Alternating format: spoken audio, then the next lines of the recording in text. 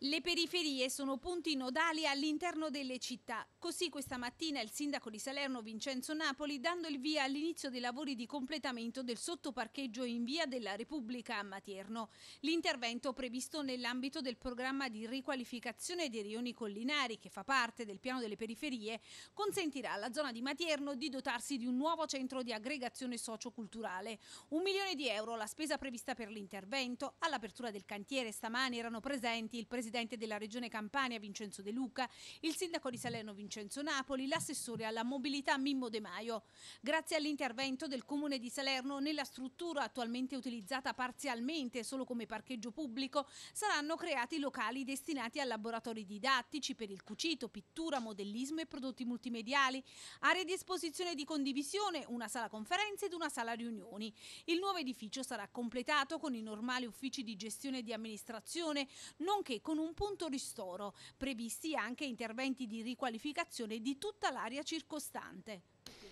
Il piano sovrastante di copertura è riservato ai parcheggi, questo sottostante in due livelli è riservato ad un, eh, ad un ambiente per un centro sociale, per eh, dare ospitalità ai giovani del quartiere, per fare in modo che possano riunirsi, dibattere e crescere.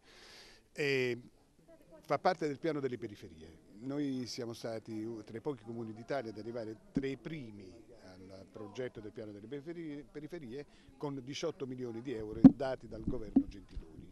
18 milioni di euro insieme alle altre città che hanno partecipato a questo piano delle periferie messe in discussione dall'attuale governo. Noi siamo riusciti a spuntarne e stiamo realizzando le opere. Abbiamo inaugurato questa quest'oggi come inizio lavori, abbiamo ultimato la demolizione dei prefabbricati di Geni a Matierno, faremo la fognatura a Pastorano e così via di seguito fino al perseguimento e al raggiungimento della cifra di 18 milioni. Lo faremo a tempo cadezzato e a tempo di, di ritmo serrato.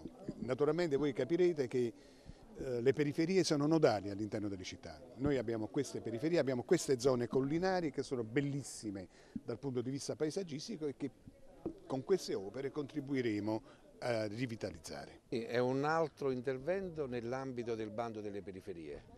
Qualche settimana fa noi inaugurammo i lavori per la dismissione dei prefabbricati sempre qui nell'abitato di Materno, quell'otto già è stato concluso, quindi è stata fatta la bonifica, Oggi partiamo con eh, questo centro sociale nel cuore del, eh, di Materno insieme alla eh, fognatura ehm, nell'abitato di Pastorano.